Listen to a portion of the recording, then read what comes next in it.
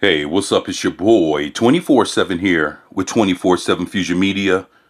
And uh, just within the last few hours of this morning, there's been a lot of rumors hitting that DC Studios are actually considering making Robert Pattinson's Batman the official DCU's Batman, Dark Knight.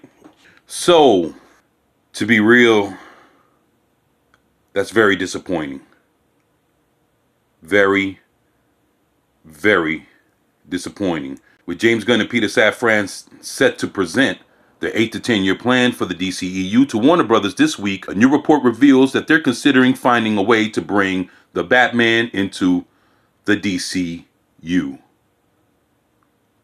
So, to be honest, I don't even know what to make of this. Let's just see what the hell is going on in here. Well, the DC Studios DCU plans just took a very interesting turn. Variety confirms that the co-CEOs James Gunn and Peter Safran will present their 8 to 10 year slate to Warner Brothers executives in the coming days, consisting of movies, TV shows, and video games that are all interconnected. It sounds like an ambitious plan, though it's one which sure will evolve once the studio weighs in. However, according to the trade, a well-placed source says James Gunn and Peter Safran are exploring the possibilities of incorporating filmmaker Matt Reeves' iteration of the Batman with actor Robert Pattinson into their wider universe. So basically, if this is true, then you see why they asked Michael Keaton his role in Aquaman, and then you can see why they chopped Ben Affleck's role in Aquaman because it seems like that they have a bigger idea in mind of bringing what possibly what it, what it is a younger Batman into the fold. But the thing is, Robert Pattinson is not your ideal Bruce Wayne. Bruce Wayne has just as much as everything to do with the Dark Knight as Batman. And even then, his Batman wasn't the greatest. So, this is going to be another move that's going to actually divide the fandom because Matt Reeves, the Batman, was a shit Batman. I don't give a fuck how many people liked it. Him being a noisy ass Batman, stomping his way through fucking dark alleys when he's supposed to be as silent as a fucking ninja. I don't want to hear that shit. But let's move on. We know Warner Brothers Discovery CEO David Zaslav is keen to move from having multiple versions of Batman on screen and as much as we love Ben Affleck and Michael Keaton, prioritizing Pattinson's Bruce Wayne makes the most sense. There was nothing in that movie to suggest it couldn't be part of a wider universe. Oh, Lord.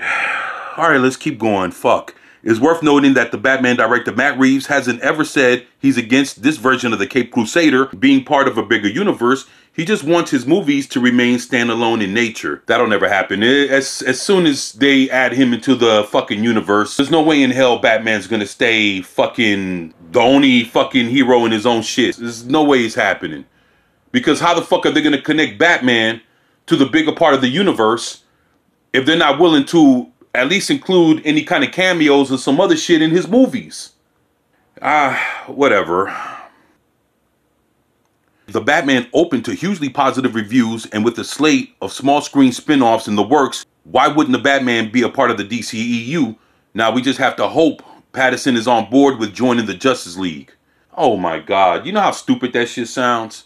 Elsewhere in the report, it's mentioned that former DC Films executive Pam Abdy had to tell Aquaman and the Lost Kingdom director to scale back his reshoot plans. Why? The sequel budget has already ballooned to a whopping 205 million, so it's no wonder there are ramblings that Jason Momoa could swap Arthur Curry for Lobo in the DCEU. Oh, please. I'm so sick of hearing about that shit. So what do you think about Robert Pattinson joining the DCU? I mean, to be honest,